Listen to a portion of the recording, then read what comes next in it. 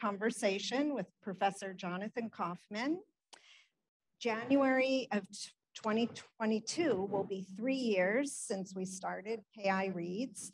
Our first book was A Pigeon and a Boy by Meir Shalev, um, and that first session was led by congregant Bob Nissenbaum, and we've been going strong monthly ever since. And we're a community of readers and learners, and we've become a community of good friends over the past three years. We usually start each meeting with a quick go round check in. We'll spare that tonight, but obviously hope everybody's been doing well. Um, I want to thank Sarah Skolnick, um, who suggested Last Kings of Shanghai for us to read, and to Chuck Morse, um, who, leaving Rosh Hashanah, said, Shari, should we try and get Professor Kaufman? He's at Northeastern. I said, Chuck, that sounds wonderful. Will you please do it? And Chuck did. So great. Um, Professor Kaufman is a Pulitzer Prize winning reporter, editor, and author. Um, he is joined Northeastern as a professor and the director of the School of Journalism. Prior to that, he held senior positions at Bloomberg News, the Wall Street Journal, and the Boston Globe um, our Rabbi Bill Hamilton, not to be confused with your British book agent, book Bill Hamilton, who you thanked in your acknowledgments, reminded me actually that Professor Kaufman, we're welcoming you back to KI, that you were here in 1997 discussing your previous book, A Hole in the Heart of the World. So we welcome you back. Um, Professor Kaufman will speak and then We'll have a Q&A, people at home, online, around the country, I hear. Um, please chat in any questions you have. Um, after Professor Kaufman's done speaking, Chuck Morse will moderate the Q&A. Chuck, his wife Barbara, daughter Hannah are longtime KI members. Chuck is a former radio talk show host and also an author of many books, including the Nazi connection to Islamic terrorism. Chuck presently hosts a podcast and is majoring in sociology at Bunker Hill Community College, a lifelong learner. Okay, so thank you everybody, and I'm going to turn it over to Professor Kaufman to discuss the last kings of Shanghai. Oh, thank you very much. It's really great to be here on what I know is sort of your first sort of non-religious event uh, since COVID, and I'm hoping this is the start for all of us of a return to normalcy. Um, I've always loved KI. We live in Newton, um, but we've had all sorts of ties to Brookline uh, over the years. In the old synagogue, we were at several bat mitzvahs, and now we have a new connection because our son, Ben Kaufman, uh, is the newly elected town clerk of Brookline. And um, he's with us tonight. So if you have any uh, town clerk type issues, please speak to him uh, after you're done with the questions about Shanghai. Um, so I, I, wanted to start out by talking a little bit about um, how I got interested in this topic, because the idea of Jews in China or Shanghai doesn't seem like a, a natural fit. Um, and my interest in this really began uh, many years ago in the late uh, 1970s when I first visited China. Now, this was back in the time when China was still Red China. Uh, Mao had only been dead a few years. Um, everybody on the street was wearing those blue Mao suits that we remember. There were far more bicycles than cars. And um, I was a young foreign correspondent, and I was walking along the Bund, that sort of street in Shanghai with the beautiful Art Deco buildings. And um, I had to use the bathroom. And so I stepped into a, a hotel that was right there on the Bund. And it felt like I had stepped into a 1930s movie set. The floors were marble, there were these beautiful chandeliers. Um, and a, a, a bellhop came up to me, all dressed in white with a little white cap. And when I asked him in English where the bathroom was, he responded to me in French. And so I, I kind of left there puzzling, like, what was this kind of beautiful Art Deco um, hotel doing in the middle of communist China? And then someone told me that it actually had been built by um, a Jewish um, financier, a Jewish playboy also, Victor Sassoon, uh, who at one point had been the richest man in Shanghai in the 1920s and 1930s and had built this grand hotel. So the way reporters do, I kind of filed that away, went on with my other stories. Um, but then a few years later, I was back and um, I was assigned a minder. What the Chinese were doing back then was that they would, whenever a foreign correspondent would show up, they would assign sort of a someone uh, to kind of be with you all the time to make sure you only covered what they wanted you to cover. And you spent a certain amount of time trying to evade them. But in this case, he said to me that he wanted to show me the Children's Palace, which was a place in Shanghai where um, people would bring their, Chinese would bring their kids on weekends for ballet lessons, violin lessons, things like that. So I said, sure, it sounded like a nice feature story to do. And so he took me to this place, which I'm not sure what I was expecting, but it essentially was this huge mansion in the middle of Shanghai it, it looked like it belonged more in Downton Abbey than it did in China. Uh, there were 43 rooms, um, beautiful sweeping staircases inside. And there were Chinese kids, you know, performing their music lessons, but this clearly had once been lived in by a, a very wealthy family um, and a, a British family, it seemed to me. And so as we left, I noticed there was a small plaque on the wall that said this had once been the home of the Kadoorie family. The Kadoorie family was another Jewish family I had heard about. I was based in Hong Kong at the time, and the Kadoories were the wealthiest Western family in Hong Kong. They were incredibly influential and powerful, um, but I didn't know that they had this history in Shanghai um, where they had lived um, all throughout the 1920s and 1930s. So a number of years later, I ended up being sent uh, to China for the Wall Street Journal to be the uh, Wall Street Journal's China bureau chief. And this time I brought my family, um, my wife Barbara, and our three kids, um, including, including Ben. And um, we all loved Shanghai. We were based in Beijing, but Shanghai was so much fun to explore. We always enjoyed going there. And so one weekend, we went out exploring into kind of a poor part of Shanghai uh, known as Hongkew. And as we were walking along, I noticed that uh, along the doorposts of many of the tenement buildings there were the shadows of mezuzahs, not the mezuzahs themselves, but the shadows of them, um, where you know they had once um, they had once been nailed to the wall.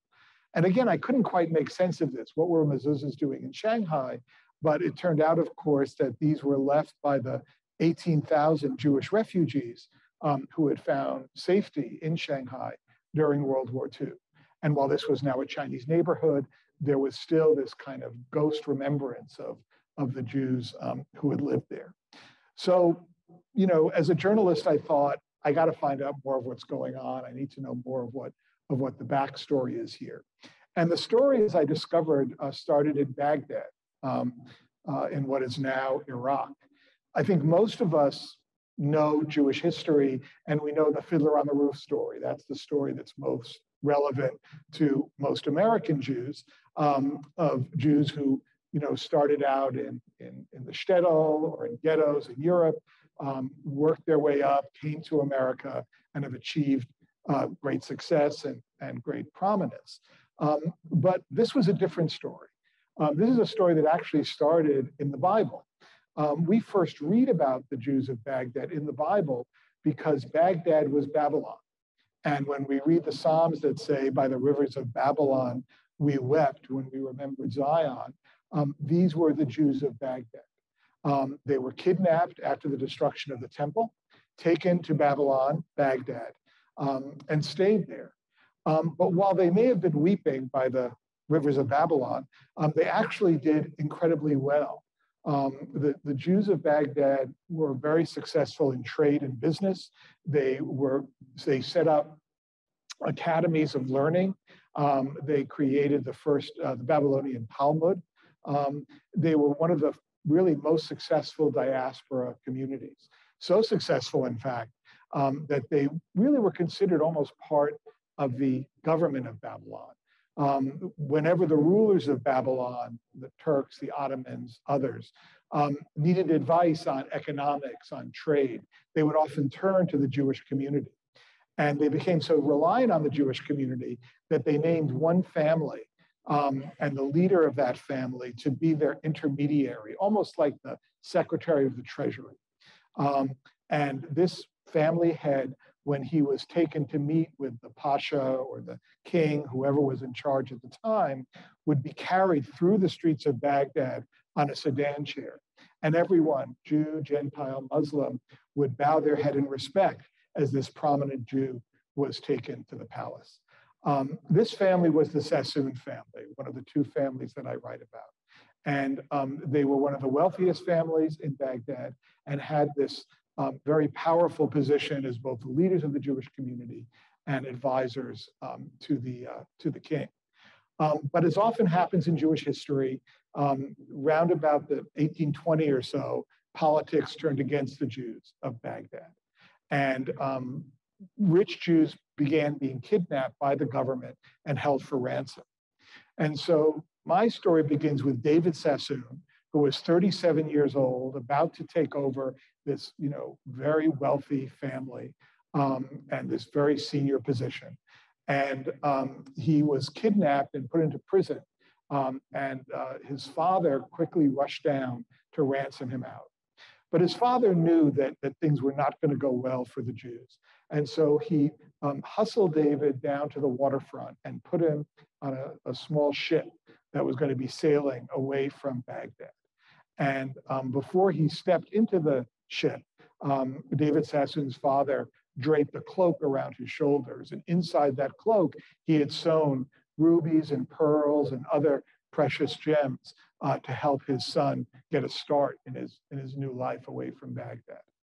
So David Sassoon, who was supposed to spend, who was supposed to take over this wealthy dynasty, ended up spending his first night outside of Baghdad in the floor of a warehouse where the ship had dropped him off, uh, carrying a gun and shooting it at rats that were that were skittering by. And so, in many ways, I think the story I'm about to tell you, I think of not as much as Fiddler on the Roof, but almost a Shakespearean tragedy of a, a, a nearly royal family um, that is dispossessed, is, is, is everything is taken away from them. And they spend the rest of their lives um, and throughout the generations trying to get back and trying to get back to the influence and wealth um, that they had had in Baghdad. And China becomes the vehicle for that. So David Sassoon um, made his way eventually to India. And he arrived in India just as the British were arriving and um, turning India into a colony.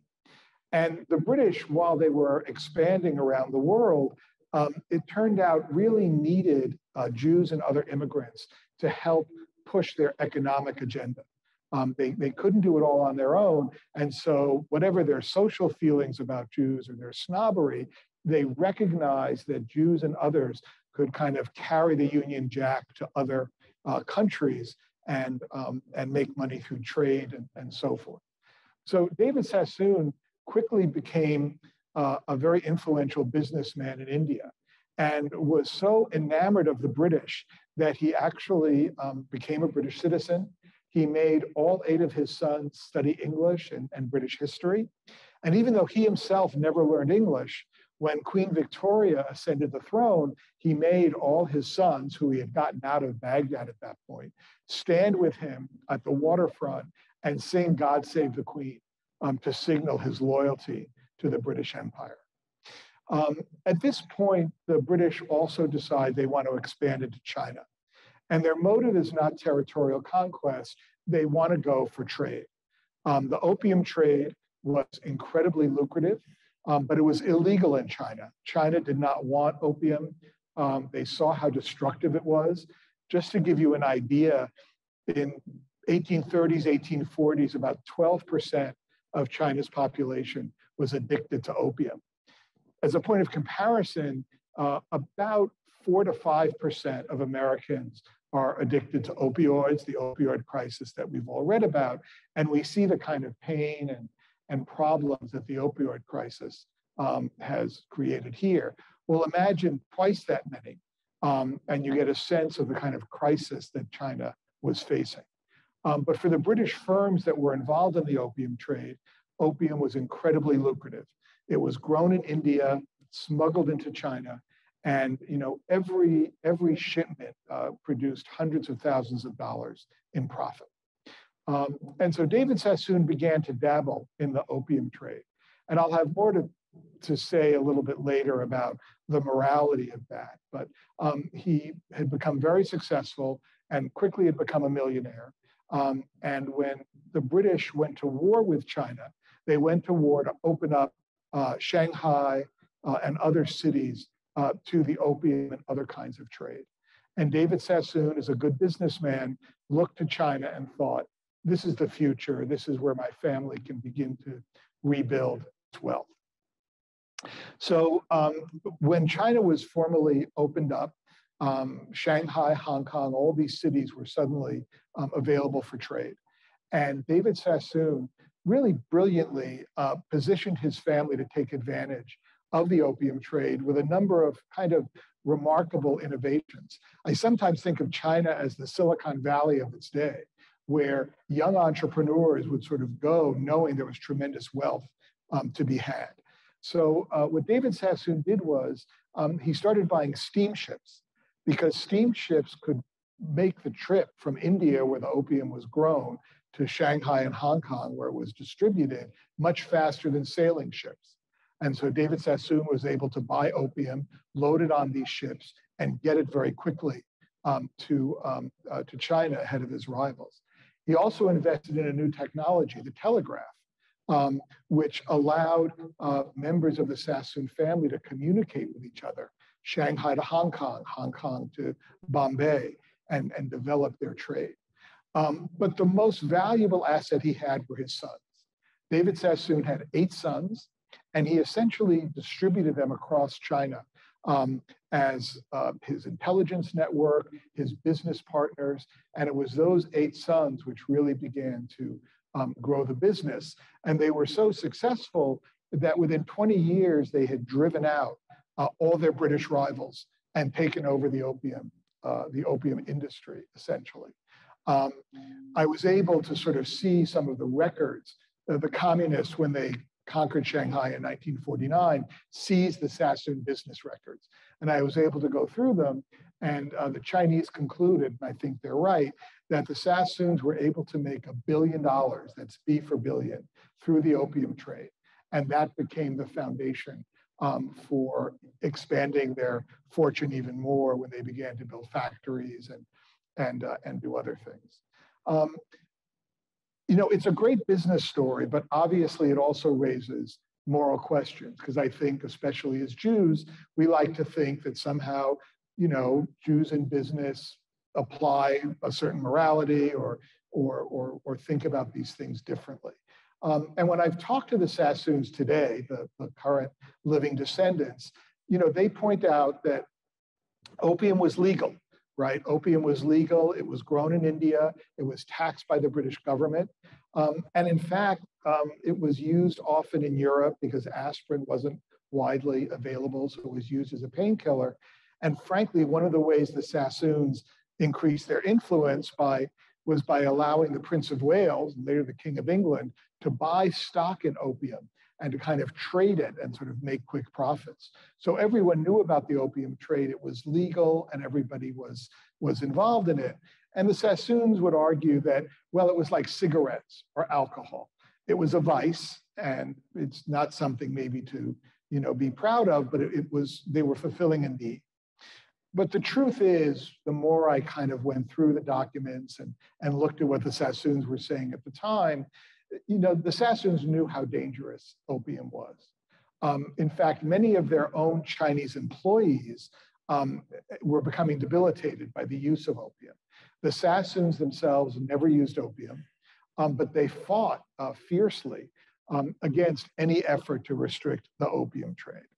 And so I, I, think, you know, I've come to the conclusion that, um, that, that there was sort of you know, a way in which the Sassoons, um, while they were Jews and they were outsiders, also were very much British imperialists and colonialists, and like many of their British rivals, felt that opium was a, a lucrative way to, um, to make a fortune.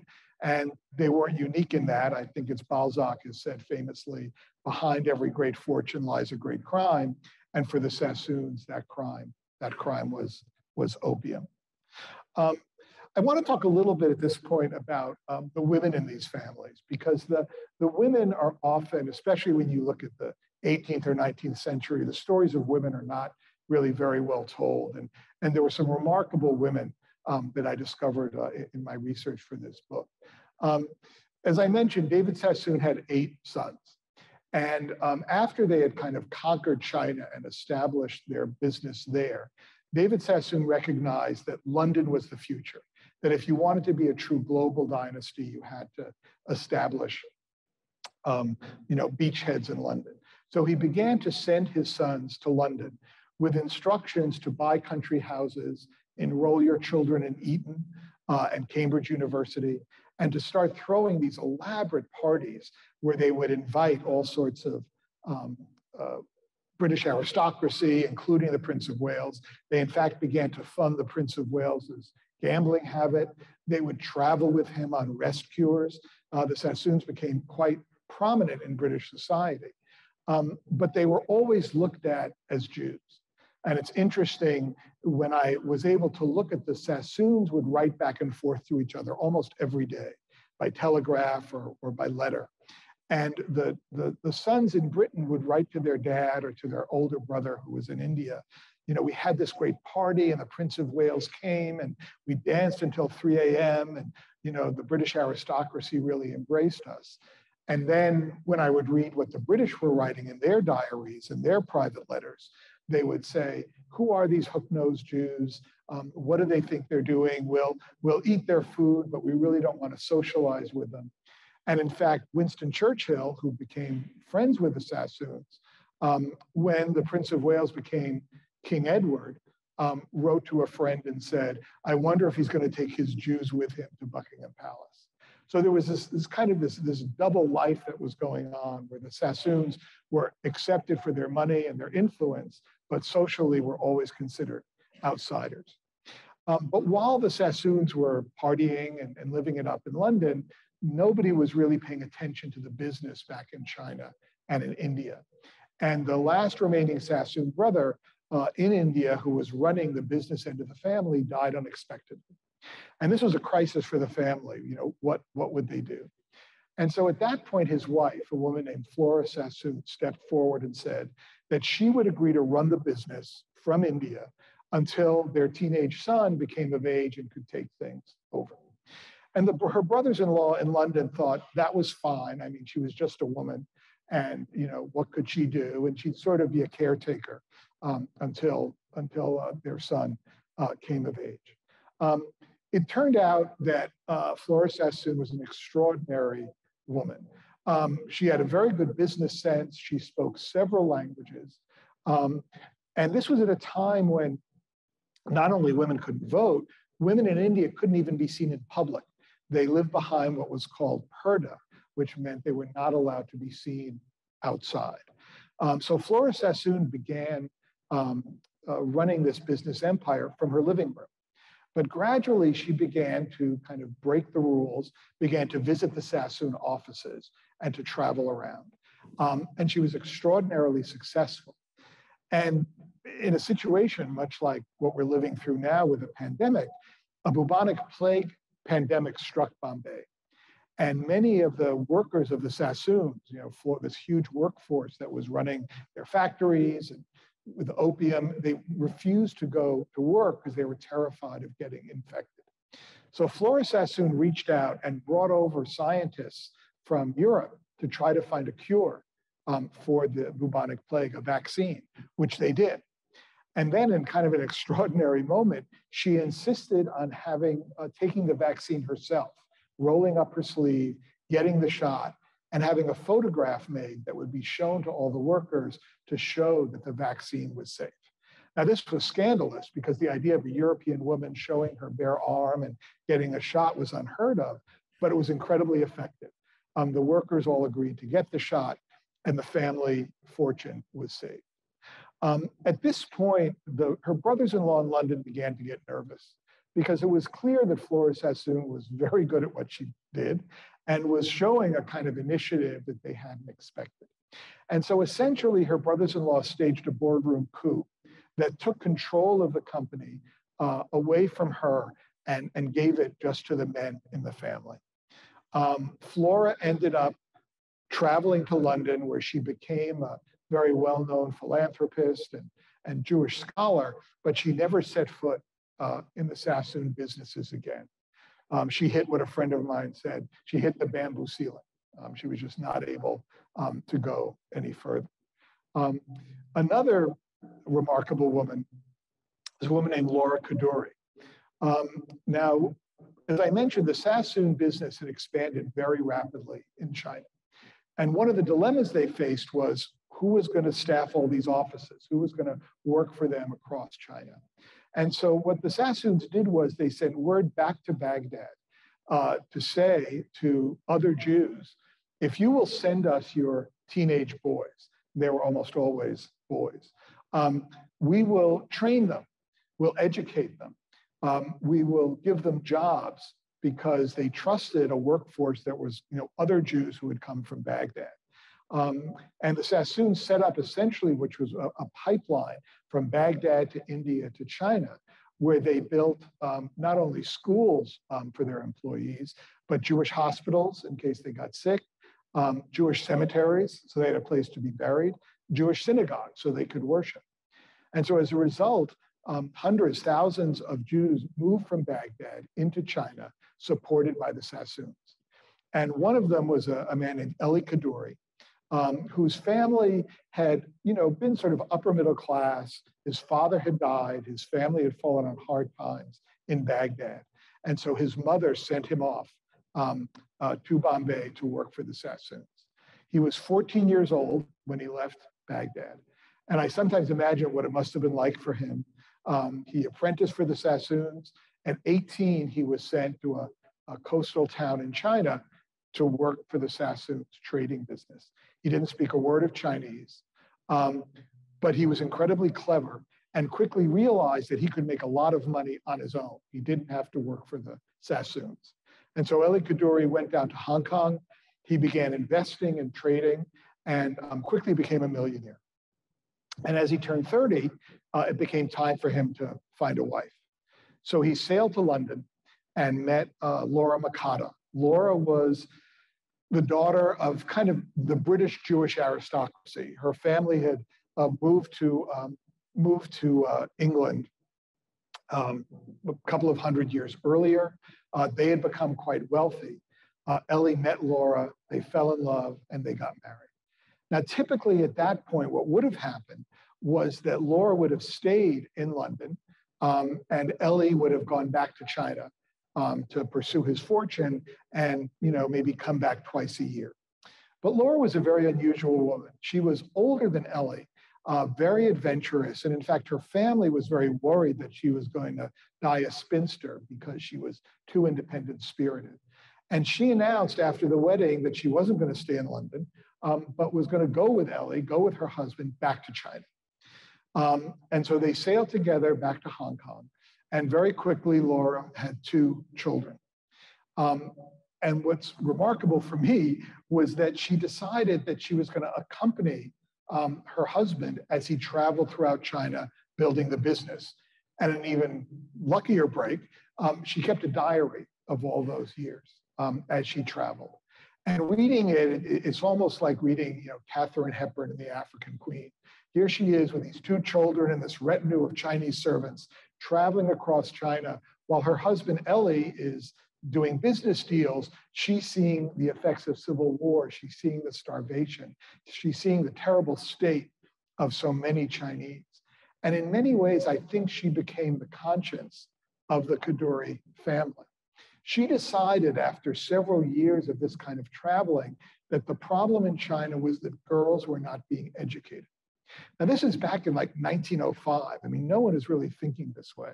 Um, but, but she was convinced that if girls were educated, that would begin to break the cycle of poverty and, and, and begin to help China kind of rebuild itself. And so she convinced her husband to fund these schools for Chinese girls. Chinese girls were not educated by anyone, by the Chinese or anyone else. Um, she also supported the creation of these schools back in Baghdad. Um, the Kadoories ended up moving to Shanghai, um, where they lived uh, in a grand house. And um, at one point, around 1919, a fire broke out in the house. And um, Laura Kadoorie ran out, um, but was convinced that the governess she had hired, the Chinese governess, to take care of her children, was still trapped inside, trapped in the flames. So she ran back inside the house to rescue her. The smoke was everywhere. As it turned out, the Chinese uh, governess had run out a different door. And Laura became disoriented by the smoke. She was uh, overcome and she died in the fire. Now, this was obviously a tragedy for the Kadoorie family, but it was also a story the Chinese told over and over again, and even tell today. The idea that a wealthy British woman would run into a fire to save a Chinese servant was something that was almost unimaginable to most Chinese. And I think it reflected not only her commitment to kind of the, the, the real life of the Chinese, but also I think affected the way the Kadoories acted and the way her sons especially um, carried on the family name um, even after um, even after she was even after she was dead. I just want to jump now to the the part of the story which, if there's ever a movie made, um, Victor Sassoon will certainly be the star. Um, there were, as I say, the Sassoons were in England. They were they were living it up. They were doing very well, and Victor Sassoon um, was uh, a playboy, um, someone who everyone thought would spend all the money the Sassoons made, never earn any more. Um, he was born uh, in Europe. He went to Cambridge University, and even as a college student, would always be seen with a chorus girl on each arm. He had one of the best wine cellars uh, in England. Um, but during World War I, he, um, he was injured um, flying a plane during World War I and uh, became crippled. He lost the use of his legs. He had to get around on, on, uh, on crutches. And he fell into a depression because he believed that the great social life that he had you know, been looking forward to and that he was enjoying as this wealthy uh, playboy was just going to be beyond reach. And so uh, he decided to go to India and China to see if he could make a go of it in terms of business. Um, and again, he turned out to be a very good uh, businessman, um, but he also knew how to enjoy his money. Um, it was Victor Sassoon who basically went to Shanghai and built the hotel called the Cathay Hotel, which I had stumbled into that first trip to China with the marble floors and the, the, the crystal chandelier. Um, and he turned that hotel uh, into a show place, not only for Shanghai, but for the world. And he really put Shanghai on the map. He built many other buildings, but his great gift was turning Shanghai into a place that everybody had to go to. You know, now we're all planning our post pandemic trips. If this were 1928 or 1932, we'd all be planning trips to Shanghai. Um, Charlie Chaplin sailed to Shanghai um, to stay at the Cathay Hotel with Victor Sassoon. Noel Coward wrote Private Lives in a suite at the Cathay Hotel. Wallis Simpson, who would later go on to make the King of England leave his throne, was photographed nude in Shanghai uh, wearing only a life vest. I mean, that's what Shanghai was like. It was glamorous, but it was also a little bit naughty. It was exotic. Um, and Victor Sassoon really stood at the center of all of this. He would have these extraordinary parties where he would dress up as a circus master, and all the guests had to dress up as circus acts. He would be the schoolmaster, and everyone else had to dress up as pupils. It was just a riotous scene. Um, at one point, when I was doing research for the book, um, I went to the hotel, which has been completely restored now, and they took me to Victor Sassoon's penthouse, where he lived and out the windows kind of could see his whole Shanghai empire spread out before him. So I was walking around and, um, and I, I went into the bathroom, which was beautiful, and there were two bathtubs. And so I, I turned to the Chinese fellow uh, taking me around and I said, Why are there two bathtubs? And he kind of blushed and he said, Well, he said, Victor Sassoon always said he didn't mind sharing his bed, but he didn't like sharing his bath. So that's what it was like to be Victor Sassoon in, in, in, Shanghai in the 1920s and 1930s. But what begins to happen in the late 1930s is that these cruise ships that have been coming with you know, celebrities, Charlie Chaplin and Wallis Simpson, begin bringing other people to Shanghai. And these are Jewish refugees. Um, by the late 1930s, of course, Hitler had come to power. He had annexed Austria, and it was clear that the Nazis were um, going to be going to war and that Jews were already in peril, um, especially in Germany and in Austria. Um, and they were desperate to get out. But as we also know, every place in the world was shutting its door to these Jewish refugees who were trying to escape, including the United States and Britain, except for Shanghai. Because Shanghai was occupied in part by the British, it had been colonized in part by the Americans, by the French, the Japanese were moving in, there was really no functioning government. And what that meant was you didn't need a visa to get into Shanghai. If you showed up in Shanghai, you were safe. You, no one could kick you out. So as word of this spread throughout, uh, especially Vienna and Berlin, many middle class Jews or upper middle class Jews sold their belongings to try to book passage on these cruise ships to take them and their families to Shanghai. They didn't really know anything about Shanghai, but it promised that it would be a place where they could be safe. And so, um, month after month in the late 1930s, cruise ships kept showing up in Shanghai, depositing thousands of these Jewish refugees. And when you look at the pictures, I mean, these are you know professors and store owners, lawyers, musicians, all dressed in their kind of Berlin or Vienna finery, like they're ready for a you know a walk down the street. And they're coming to a city that is you know completely Chinese. They don't speak Chinese. No one in no one in Shanghai um, is speaking English or German. Um, there's tremendous poverty. Chinese are literally dying in the streets, and this is their new home. And at that, at this point, Victor Sassoon and Elly Kadoorie, even though they're businessmen, really step up and they begin to uh, convert many of the properties they own, the hotels they own, into places where these refugees can stay. Um, Victor Sassoon employs many of them. Um, he hires um, he hires these refugees. The Kadoories actually set up a school for refugee children because families are arriving, but the children have no structure. And the only place where these refugees can afford to live are in these very poor neighborhoods where we saw the mezuzahs many decades later, but they have no structure to their lives. And so the Kadoories hire many of the refugees who are teachers and set up a school where the, the children uh, begin to go to school. And many of those children end up becoming very prominent. Michael Blumenthal, who's the becomes Secretary of the Treasury in the US, Mike Medavoy, who's a Hollywood executive, Laurence Tribe, who is a professor at Harvard. These are all uh, refugees who fled with their families as children and were finding safety and even education in Shanghai. Victor Sassoon, though, does something else, which is that as all these refugees are showing up, um, the Japanese can't quite figure out what to do. At this point, the Japanese have essentially encircled Shanghai. They haven't taken over the city it's before Pearl Harbor. They don't want the US to enter the war or turn the US into an enemy. So they essentially are kind of occupying parts of Shanghai. Um, but these Jews are arriving, and the Nazis, who are Japan's ally at that point, are putting pressure on the Japanese to do something about their Jewish problem. And so the Japanese uh, name an anti Semitic Japanese uh, captain uh, to be in charge of their Jewish problem.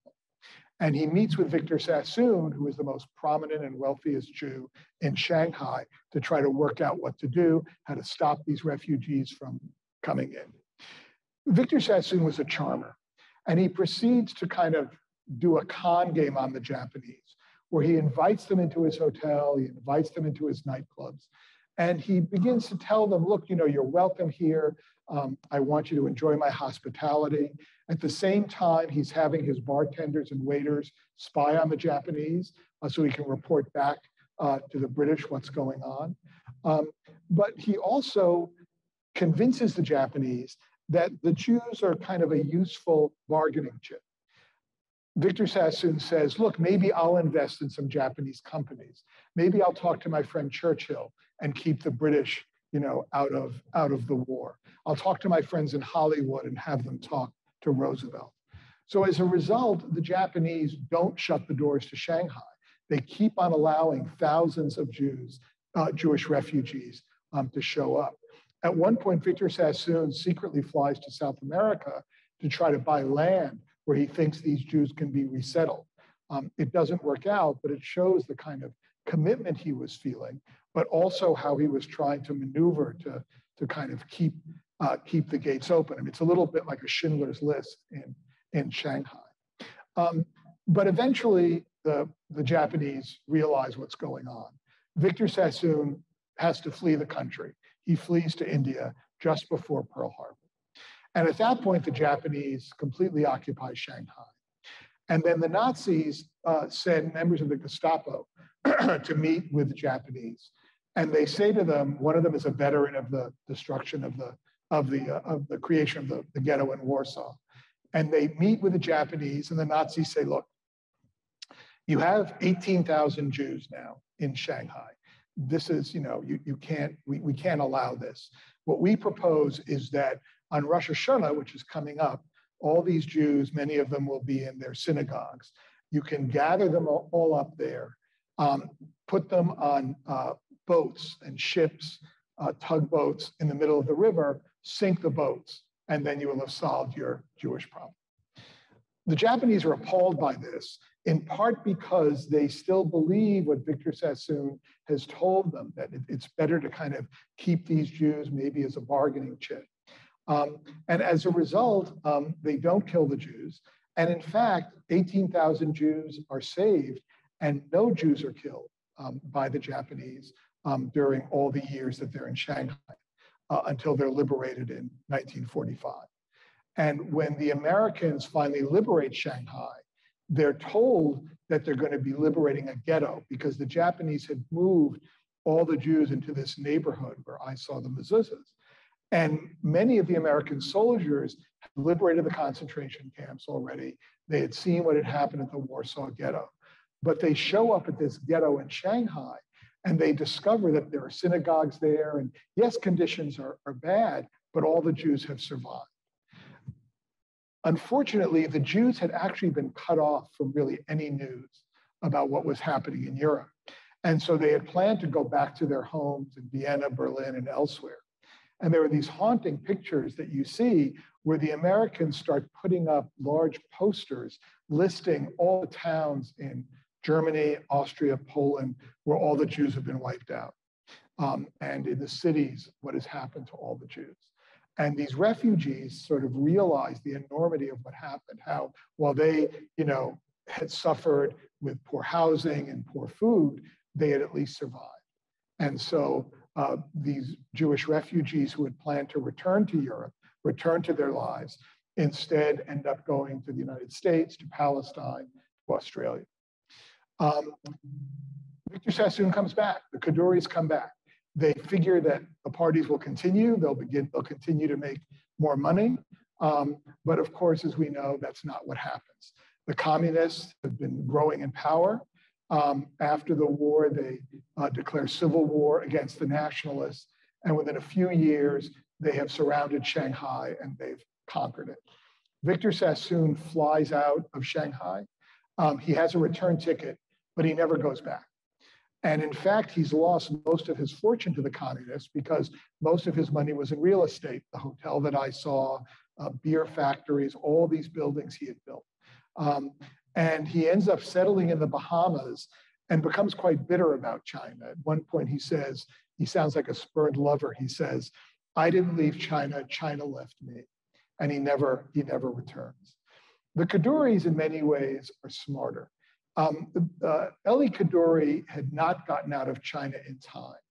And so the entire Kadoorie family, Elly Kadoorie, the patriarch, um, and his two sons were imprisoned um, in a Japanese internment camp. And Elly Kadoorie developed cancer. He was not given any treatment, and he died during the war under in Japanese custody. Um, his two sons, though, survived. They're in their 40s, and they then take over the family business, and they move everything to Hong Kong because they're convinced that at some point China will open up again, and the communists will have to deal with them. Well, the Kadoories end up uh, becoming really incredibly important in rebuilding Hong Kong and turning it into the kind of economic miracle um, that we see today. Um, they are now, the Kadoories are now the richest Western family in China. They're worth more than $13 billion. Um, they consult regularly with the Chinese leadership, with Xi Jinping um, and others. But at this moment, they're also incredibly nervous, as everyone is in Hong Kong, trying to understand as China tightens up, as China becomes more repressive, as it moves into Hong Kong very aggressively, is this Shanghai all over again? And will they once again um, have to flee? So I'll, I'll, stop the story there um, and uh, I can talk more about what's going on now in questions. But I think that gives you a sense of kind of these extraordinary families um, and their journey, um, but also some of the questions it raises about you know, the decisions they made, the moral choices they face. And in some cases, they acted nobly, and in some cases, not so nobly. Um, and I think that's an interesting kind of point to reflect on. Chuck, I'll turn it over to you for questions. Um, first of all, I mean, it's kind of hard to. Uh, Do you want the microphone? Okay. Um, thank you. I mean, your presentation is so comprehensive. I don't even know where to start. It's like you covered just about everything, all the questions I had. But um, thank you for coming. And also, I mean, it's, um, I think we were all grateful to be here and after the pandemic. And I'm very proud of our synagogue for having this event and, and for moving into um, a more normal situation. Thank you, Gordon Bennett, our president, and and Rabbi Hamilton and, this, and uh, Shari Lecker, of course. Thank you. And uh, it's just great to be doing it. And um,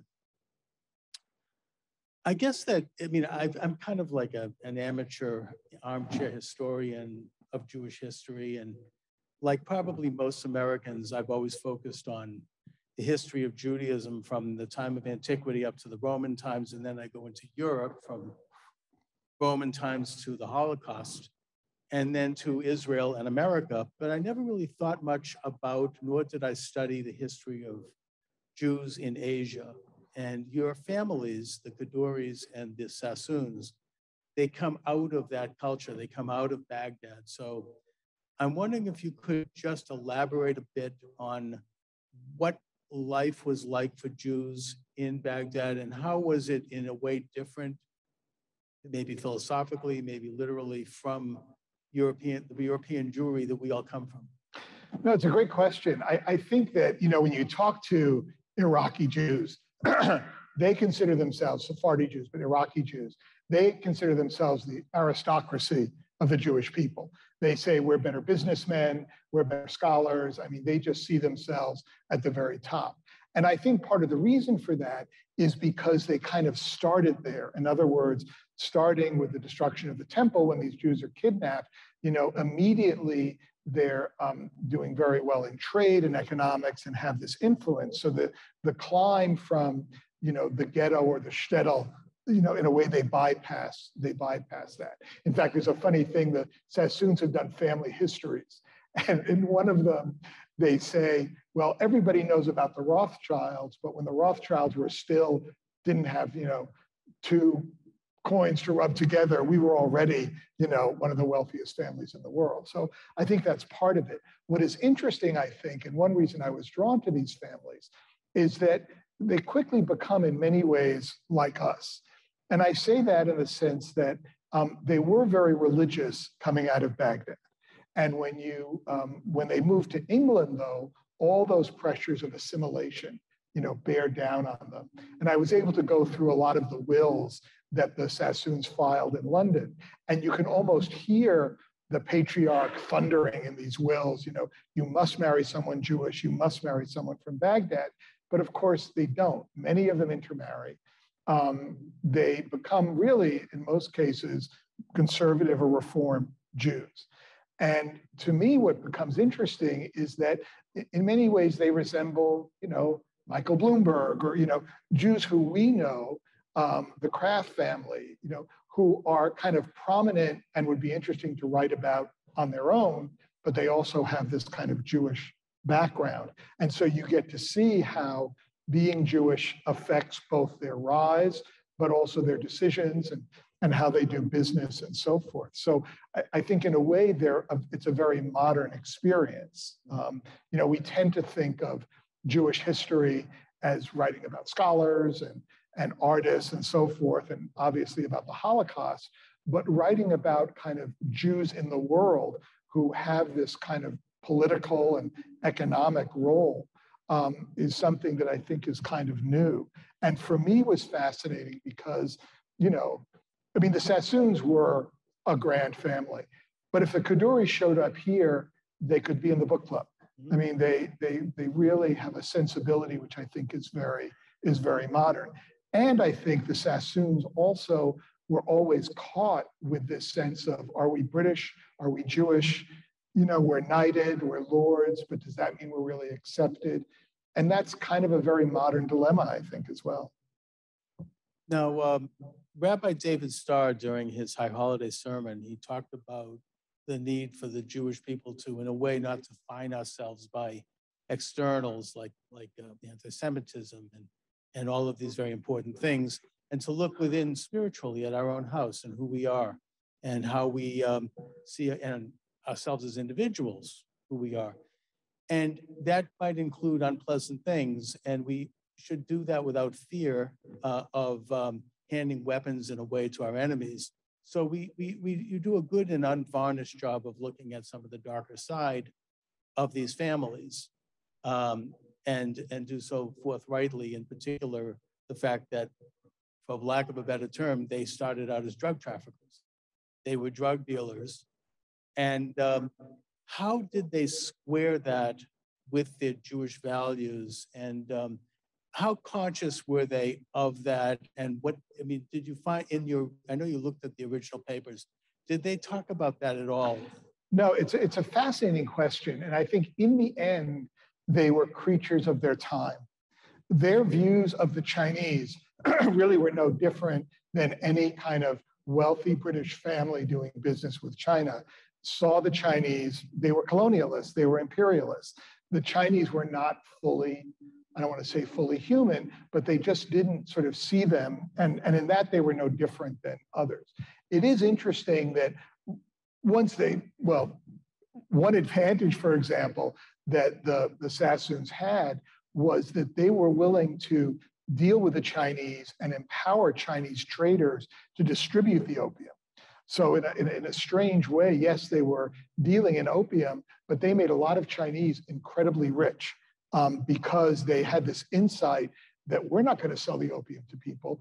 We'll hire Chinese to do it and give them a stake, and they became richer. So there is this kind of tension where when you talk to the Chinese, they recognize that a lot of the kind of, especially in a place like Shanghai, the business sense that the Chinese have, that we've all seen dramatically in recent decades, a lot of that they were first exposed to because of these families whether it was opium or later kind of the global business that they were doing.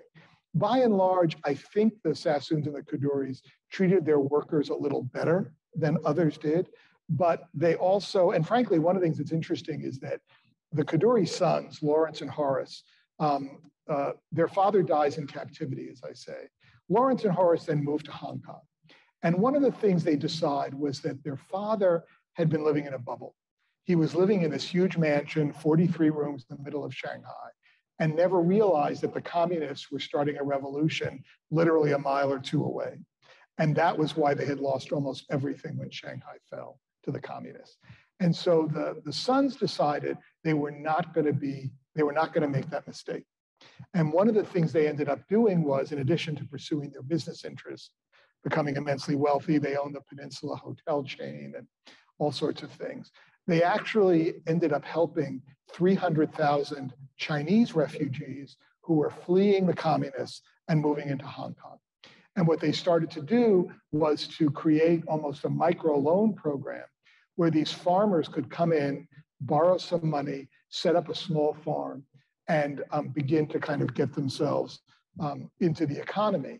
And they also funded a huge amount of research on pigs. Pork, as we know, is a staple of the Chinese diet. and Hong Kong's population was exploding. And so the Kadoories funded all this research to create bigger pigs and fatter pigs that Chinese refugees could, you know, could grow and, and make money. And so the joke when I was researching this, you speak to Chinese in Hong Kong and they say, oh, the Kadoories, they know everything about pigs except what they taste like because they were keeping kosher and they would. So I think the Chinese had an awareness that yes, these were imperialists. Yes, they were treating us badly, but they were different. And one of the things that's striking to me is that China is one of the few places you can go these days. And I know Gordon, you and others have had the experience of getting to know Chinese. The Chinese are fascinated by the Jews. You know, they're re- you don't see that kind of anti-Semitism that you get even in places like Japan. Um, the Chinese are, are fascinated, and there's a, a way in which I think part of it is the legacy of these families. They identify more with Jews, with our, you know, with family structure, with the fact that Jews value education. Um, there is a connection there which you don't see in a lot of other countries. You know, I think that in spite of the um, admittedly shady origins of their success, they went legit and they did bring kind of a higher Jewish values and ethics to their business dealings, to the way they treated employees, and to the way they treated each other. That I think is something that you mentioned in the book. And I, when I think about Jewish businesses, I mean, not that anyone's perfect, but you know, it does have that level to it. And uh, I was interested in the family dynamic because that same family dynamic seemed to have been the case with a lot of very successful Jewish families. I would particularly mention the Rothschilds, in that the, the, the, sons would be sent out to each do like a certain function, and they maintained very close contact with each other. And they had like a close, loyal circle that would extend to other Jews and other Jewish families, and where they would build an out sort of a concentric network that would eventually reach many countries. Is that a trend, do you think, in uh, that emanates from Jewish understanding and Jewish uh, faith? Yeah, no, I, I, I think it does. I mean, I wouldn't use this as advice on how to raise your family and how to treat it, but I guess two things were striking to me. One was that the, um, excuse me, that the um, the Sassoons, the father, exerted very loose control in the sense that he sent the eight sons out there and he allowed them to build up their own stakes and he sort of guided with a, a kind of a gentle hand. As a result, the minute he died, all a sudden started feuding with each other and the family actually split um, and kind of went in two different directions. The Kadoories, by contrast, once their mother died, uh, Elly Kadoorie ruled with an iron hand. He made his two sons, uh, when they went to London, come back to work for him. Uh, Lawrence Kadoorie, in his 50s, would say, I never had much of a childhood um, because his father was very controlling. Um, and that family is still together. The Sassoon fortune was dissipated. I mean, they're not poor, but they, you know, the, the family was scattered. Um, the Kadoories have, you know, remained very close under the kind of shadow of, of, uh, of their father. So, um, you know, I'm not sure. I mean, I think where the, the Jewish aspect comes through, which was really touching for me, is that the two brothers, Lawrence and Horace Kadoorie, who kind of run the business in Shanghai, survive the war, and then go to Hong Kong. One was in Hong Kong, one was in Shanghai in the 30s and 40s. And they ended up writing to each other just about every day. Um, it was almost like Facebook. They would they would write and then they would ship it off, and then the answer would come back scribbled on the same piece of paper, so you can really see the the thing. And what was so interesting was they they always sign off by saying, "My brother, I wish you love." You know, um, they they even when they're arguing over things, there is this sense of family. Blood is thicker than anything. And I, I do think there's an aspect of that, which, you know, obviously we try to instill in our own families and, and in our children um, that was very strong. And I think that's something the Chinese responded to. Um, whenever I would speak to the Chinese, they would say, yes, the Jewish people, they, you know, they, they respect their elders, they have a tight family, and that's why they've survived for so long. Right. And you also mentioned the, the, the value of education and the right. cutting edge of science and knowledge. Right, right.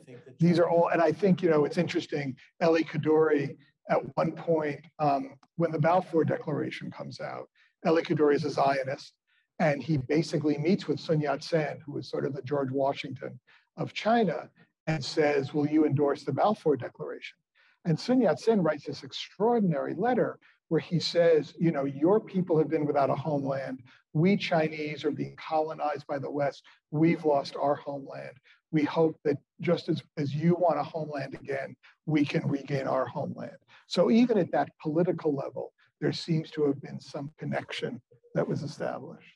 I want to bring up one more issue and then open it up for questions. And um, it was fascinating the, the how Victor Sassoon manipulated Japanese anti-Semitism at the beginning of the war.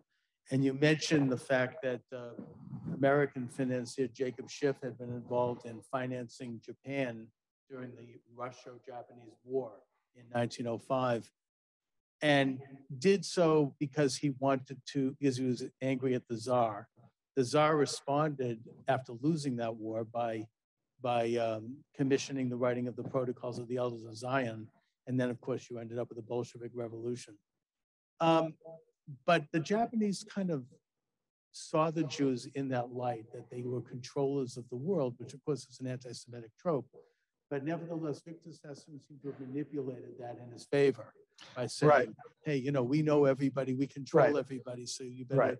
Right. not, not damage us. Right. It, it was a different, it was a different, you know, the, the, if you look at anti-Semitism, the Nazi anti-Semitism was the Jews are dangerous, they control the world, therefore we have to exterminate them.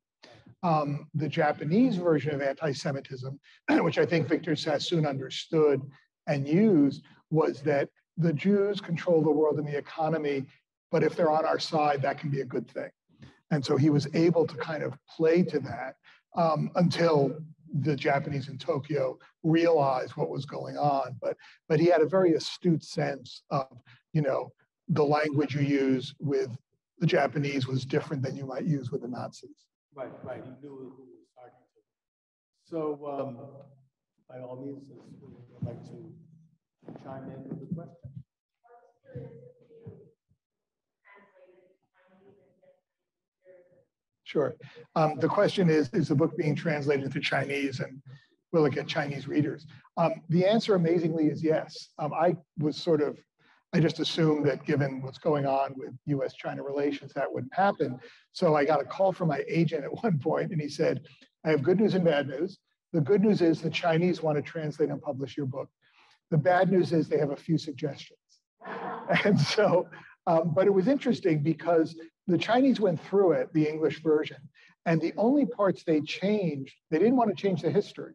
They, in the introduction, I talk about, you know, the Tiananmen massacre, and that literally had a red line through it, and it has to read the events of June 4th, which is how the Chinese do it. I talked about uh, the Great Leap Forward when Mao killed millions of people. That had a line kind of drawn through it, and then it, Right. And then at the next, um, and then at the end of the book, I talk about Shanghai being a more sophisticated cosmopolitan city because of the influence of these families. And I say, unlike Beijing, which is nationalistic and repressive, the nationalistic and repressive got crossed out. But that was really about it. And, and what I think is interesting is that it shows a willingness on the part of certainly intellectuals in China to kind of understand this history. But I was doing a talk, a Zoom talk to Los Angeles, and, and one of the one of the men who was uh, on the Zoom is a businessman in China. He had recently been in China, and um, he had his translator in a taxi, and he said to the taxi driver he wanted to see the old Jewish ghetto where the Jewish refugees had been. And the taxi driver said to him, Oh, the Jews, yeah. He said, We Chinese are good people. We helped save the Jews in World War II. So, you know, there is that kind of folk wisdom, I, I guess, as well. Um, so yeah, the book will be published, but of course, this being geopolitics, Taiwan is also publishing it. They're publishing their own version, and then the mainland is publishing its version. So I take some heart in that. Yes.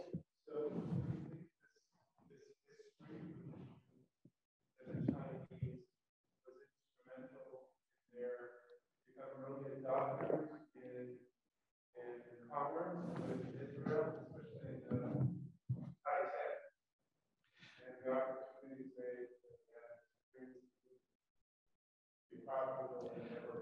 You know, I, I'd like to say that's true, but the story is actually even more interesting. Um, among the refugees who were in the ghetto, um, a lot of some of them went to Israel.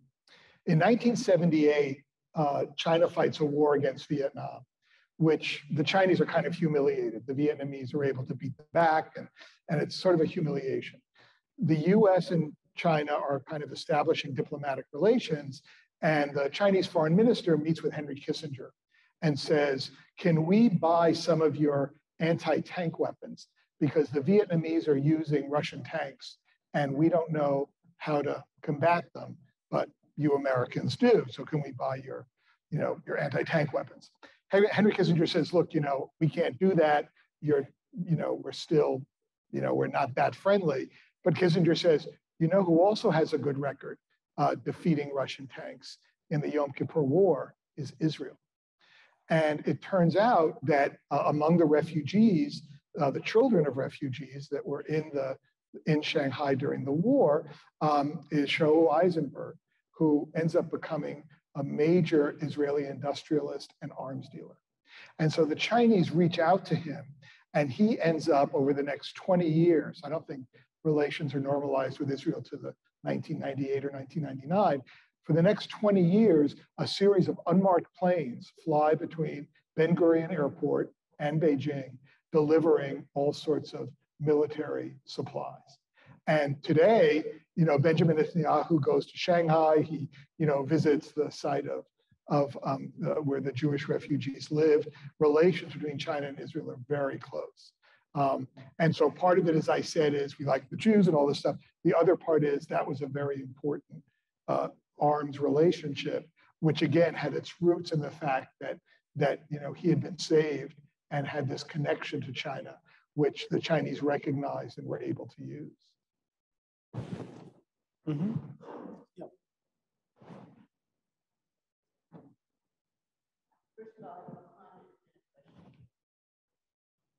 yep.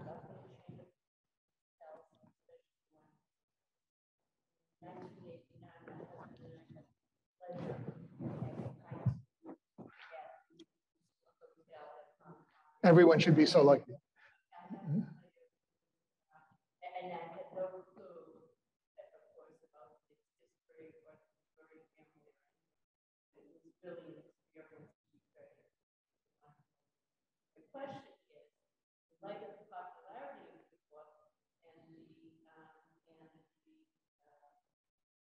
moral question regarding the open trade. think that the, uh, the ecologists or critical theory would start using this um, any further Hmm. Okay, so the question was, one was a comment that the Peninsula Hotel serves this great, you know, high tea. And again, this is sort of a very Jewish thing if you go to the Peninsula Hotel, you do feel like you're in Downton Abbey, and you do feel like you're, you know, being treated like British royalty. And you have to remind yourself, this hotel was built by a Jewish immigrant from Baghdad, you know, who who spoke broken English. I mean, this ability of Jews in whatever society they're in to kind of figure out, you know, how to succeed is kind of remarkable. Um, when you think about it. Then the other question was, will this, you know, the talk about opium and so forth be used somehow um, to foment anti-Semitism or, or, or, or, things like that. I mean, look, the Sackler issue is out there. Obviously, I think there's been a lot of introspection about what the Sacklers uh, did and how much of that was their, you know, was just being doing business or being criminals. Um, I mean, I, I don't think, I mean, yes, the white supremacists will find anything and use that to attack Jews. Um, right. Yeah. I don't. I don't see the whole critical race theory debate um, appropriating this. My own feeling about critical race theory and about these issues is that you know, as Jews, if we can talk honestly about our our failings as well as our successes and try to put them in some sort of context in the end, I believe people will, you know, uh, understand that. Not everyone. Um, obviously, there's always going to be people who are going to, you know, on the left and the right, who are going to use um, use things against Jews. But my feeling is, is that, as you say, no group is perfect. And if we acknowledge it and then talk about what the lessons are, certainly internally as Jews, I think it's a valuable conversation. That's right. We can worry about our own house. Right, right. You want the question? Yeah. Please. I'm sorry, can you speak up? of the, the family life, of the Sassoons and the Gregorians, you go, go to present day and talk to them, show them research, discuss with them. So much about of the, of the atmosphere that their ancestors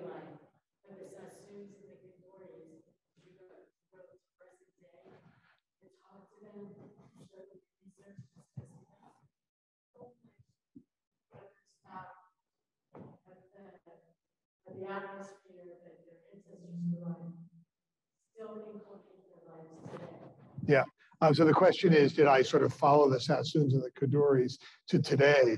And how much does their kind of the way they grew up and, and the, the, the lineage of the families play out? Um, it's still very strong, but it's played out in different ways. Um, the Sassoons essentially were seduced by Britain. And um, they, if you go to, the Sassoons are very well known in Britain.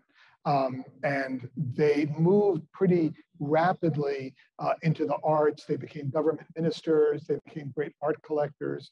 Um, the uh, we were just talking before. The MFA has acquired the Sassoon Torah covers. They were great collectors of Judaica. So the Sassoons really um, became assimilated into British society and are quite prominent today, um, not in business, but in government and culture um, and so forth. Siegfried Sassoon was a famous poet of, of World War I. Um, the Kadoories kind of kept their focus on business and really, you know, were political, but in a much quieter way. But also, in some ways, were never really accepted by the British. And I think that's one reason why they became, they were more Zionist, um, is because they always felt, I mean, they clearly had the ability to live anywhere, and yet they've stayed in Hong Kong. Um, they're British citizens, but they've made that their home. And I, I think that reflects kind of a, you know, a, a way in which, um, you know, their, their views of their outsider status are still, are still pretty strong. It is interesting, the book came out and it has gotten a fair amount of attention. I've gotten calls from members of the Sassoon family who say, we never knew a lot of this, you know? I mean, the, and also, I mean, the history you get at the kitchen table is not often what the real history uh, was. With the Kadoories, it's interesting. I did share the manuscript um, with both families before we published it. Typically, as a journalist, you don't show people what you're going to write, but I was writing essentially a dual biography. And as my agent said, you don't want to get into a legal fight with a family worth $13 billion. It's just not a good way to go. So I, I wrote I wrote to both families with the manuscript and I said, you know, I'd like any corrections, but understand that the historical interpretation is mine. And the Sassoons, who were a more worldly family in some ways, were very generous. Lord Sassoon, who's the head of the family now, you know, gave me some more information. And then he said, as you say, historical interpretations may differ, but I wish you the best of luck. The Kadoories were quite, they became concerned about a number of things. And it turned out the things, the two things they were most upset about were um, I had characterized uh, Lawrence Kadoorie, who is the father of the current head of the family, Michael Kadoorie's father, Lawrence. I called him squat, which he was. And his son was just furious. He said, he's big boned. And so I, I decided to just kind of describe him rather than do that. And then um, they, uh, they, they had several mansions. One of them was in Hong Kong and um, on the water. And Michael Kadoorie kept on writing to me saying, it's not a mansion, it's a bungalow. It's a bungalow. And I realized at a certain point, he was thinking of like, um, you know, in Rhode Island, the bungalows in, in Newport, that's what he was thinking about. So I just described that it was, you know, 16 rooms and looked like a hotel and, and all that kind of thing. So it's just kind of interesting to me that when you write about people, yeah, we don't care about the opium trade and all that. You know, don't call my grandfather fat. You know, it's just kind of interesting what triggers people. So, yes. So there are questions from Zoom. Um, and I guess we'll share them. There was one interesting one um, from M. Yao. So stating that there were uh, different Chinese aristocratic families, very wealthy in Shanghai, and did the Sassoons and the Kadoorie families trade or interact with them and potentially intermarry with them, With Um, Chinese families. with some of these uh, aristocrat, aristocratic Right. Chinese families? So, um, so it's interesting when I was, um, when I was doing the research for the book, um, Victor Sassoon never married in Shanghai. Um, he ended up moving to the Bahamas and he ended up marrying his nurse who was from uh, Dallas, Texas. And so when Victor Sassoon died, his papers ended up going to Southern Methodist University Library in Dallas, Texas, of all places. So I went down there to look through them. And they were all his kind of business diaries where he said, you know, had dinner with this businessman, that businessman, Chiang Kai-shek, whatever it happened to be. So I'm going through these business diaries and these pictures of nude women start dropping out. And I'm sort of embarrassed and I'm convinced the librarian's gonna walk by and like throw me out for having these pictures of, of nude women. The way Victor Sassoon met women, it turned out, he was an amateur photographer. He would go down as these ships were pulling in um, before the refugees were arriving in the early 30s. And when beautiful women would come off the ships, he would offer to photograph them in his studio. And then he would have affairs with them or whatever. But those pictures gave me great insight, not only into what it was like to be Victor Sassoon with all these photographs of naked women, a number of the women were Chinese or Indian. And so it turns out Victor Sassoon was actually, and the Kadoories both were breaking the social convention that said you could not have social relations with, um, uh, with uh, Asians, essentially. So there was never any talk of marriage. These were, you know, affairs or kind of social things. Um, Victor Sassoon did have a serious relationship with a Jewish woman, Emily Hahn, who was a writer for the New Yorker. And um, she was kind of one-upping Victor Sassoon. At the same time she was having an affair with him, she was having an affair with a Chinese poet uh, who was a left-wing poet. And she and Victor would have lunches in his penthouse. And she would say to him, Victor, you know, these communists are serious. I mean, they're really organizing. They're going to conquer the country. And Victor would just kind of dismiss it and, and not and not listen. Um, but um, but both families did break a lot of the social barriers, but there was no it, talk of intermarriage at that level. I mean, they were kind of the aristocracy of Shanghai. And so affairs were one thing, but marriage would never would never happen. Yeah, there's um, some of them have been answered already, but uh, Miriam writes any Zionists and the Kadoories or the Sassoon families. Yes, the this the um, the Kadoories were Zionists, as I say. Elly Kadoorie um, lobbied for the Balfour Declaration, um, and again, I think part of that was because you know the Sassoons very quickly became British citizens, and they were knighted, and and they became members of governments and palled around with the Prince of Wales and so forth. Elly Kadoorie tried over and over again to become a British citizen, and he kept on being turned down. Um, and in fact, at one point, I found a, a cable from the British Foreign Office from Hong Kong to London saying, if we give, we don't want to give Kadoorie citizenship because then we'll have to give it to all of them, you know, these other Jewish immigrants. And so I think that that always kind of stung. Eventually, Kadoorie realized the way you got a knighthood was by giving money to the king's favorite charities, and, and then he was knighted. Um, but the, the Kadoories were always aware of being outsiders.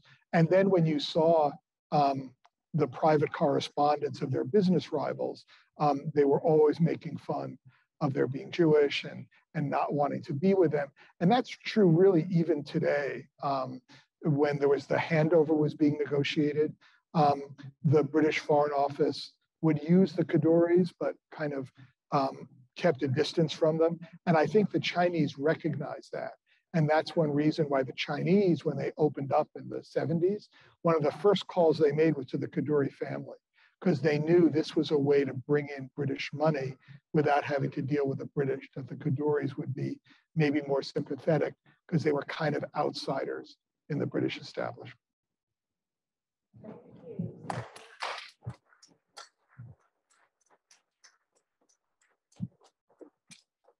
I feel like we could go on and on, but the hour is late. It's just been wonderful. Thank you to everybody who came, everybody who joined us online. A big thanks to Gordon Bennett, our KI president, who never says no. Want Gordon, should we bring this? Should we have a Shabbat dinner? Gordon always is an enthusiastic yes.